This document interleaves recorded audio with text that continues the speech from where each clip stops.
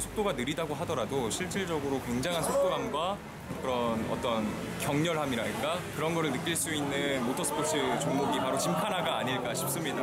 어, 서킷에서 달리는 모터스포츠 대회보다 진입 장벽이 낮은 이 짐카나를 통해서 모터스포츠와 조금씩 친해져 보시는 건 어떨까 싶습니다. 저음 받으세요. 하나,